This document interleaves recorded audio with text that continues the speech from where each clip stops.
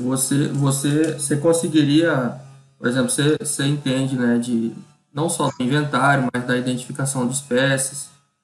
Você conseguiria é, fazer o que você faz hoje se você não soubesse inventário florestal, você ia terceirizar ou você não ia conseguir fazer? O que, que você acha? Olha, dificilmente, né?